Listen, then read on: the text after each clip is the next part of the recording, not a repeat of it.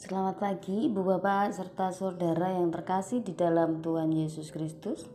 Selamat berjumpa lagi dalam renungan satu hati Sapaan Tuhan tiap pagi pada hari ini Selasa 5 Oktober 2021. Baiklah sebelum kita mendengarkan firman Tuhan, kita akan berdoa terlebih dahulu. Tuhan yang makasih, Terima kasih Tuhan senantiasa menyertai kami.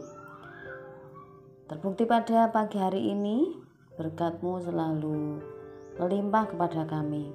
Engkau bangunkan kami dari istirahat kami semalam, sehingga kami boleh bangun dan akan beraktivitas melalui pekerjaan kami masing-masing.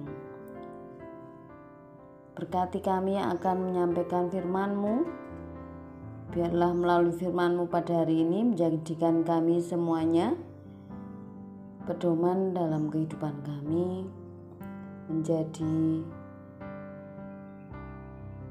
pengingat kami untuk selalu menjadi umat-Mu yang setia akan firman-Mu.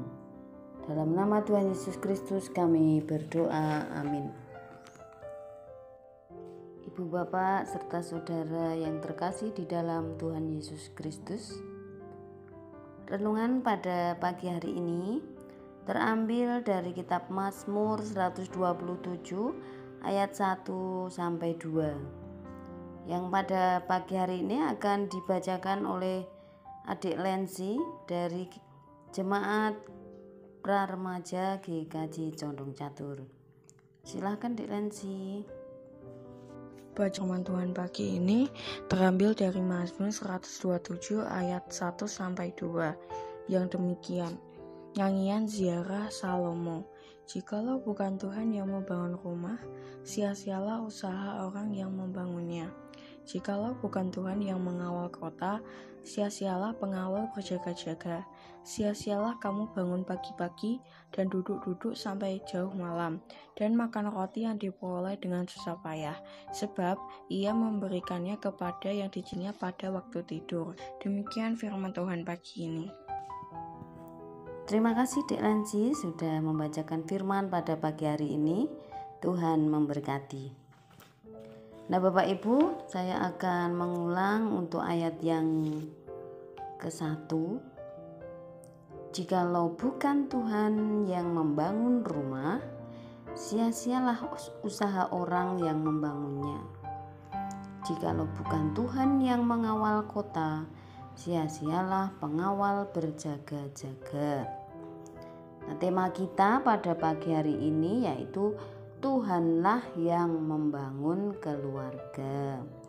Bapak, ibu, serta saudara yang terkasih, tentu di dalam keluarga kita masing-masing, Tuhan adalah sebagai sumber kekuatan kita di dalam membangun sebuah keluarga.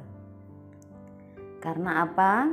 Suatu keluarga dibentuk bukan sekedar keinginan manusia, tetapi Tuhan yang membangun.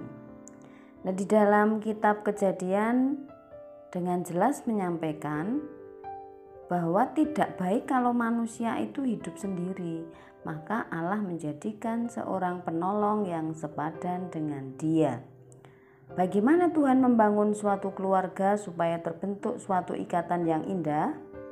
Bagaimana Tuhan menjadikan penolong yang sepadan, bukan yang lebih tinggi atau lebih rendah derajatnya. Semua sudah dirancangkan dan diwujudkan oleh Tuhan bagi manusia. Dengan demikian, dasar dibangunnya suatu keluarga bukan sekedar keinginan dan hasrat manusia semata, tetapi keberadaan Tuhan ada di dalamnya. Bahkan dalam kitab Mazmur menegaskan bahwa bila bukan Tuhan yang membangun rumah, sia-sialah orang yang membangunnya. Rumah yang dimaksud pemazmur di sini bukan dalam pengertian wujud bangunan saja, tetapi juga rumah yang berarti keluarga. Nah, sehingga keluarga menjadi peran penting dalam kehidupan kita.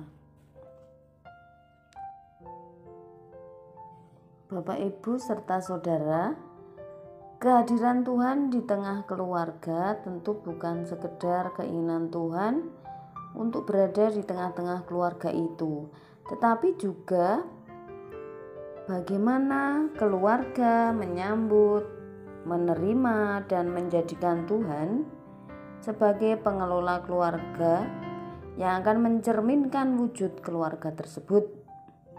Keluarga yang mempersilahkan Tuhan untuk hadir dan berkarya, keluarga yang menjadikan Tuhan bertahta di dalamnya akan menjadi keluarga yang diberkati dan menjadi berkat.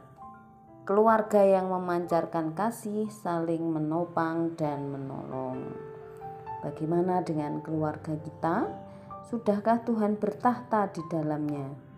Atau Tuhan hanya sebagai tamu yang Suatu saat kita persilahkan untuk meninggalkan keluarga kita dan saat lain kita undang untuk datang karena sedang kita butuhkan. Tuhanlah yang merancang dan mewujudkan keluarga. Kita tidak bisa lepas dari Dia dalam mengisinya. Amin.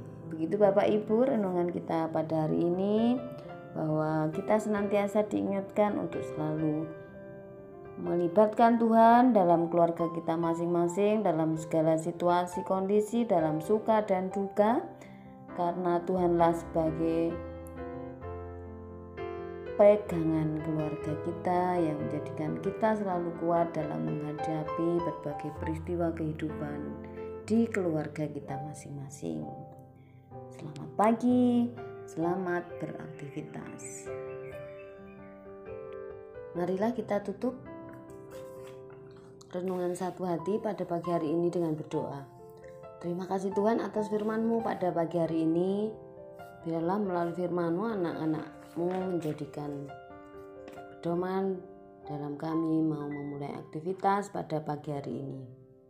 Berkati setiap pekerjaan yang kami lakukan di mana pun kami berkarya dan berpelayanan.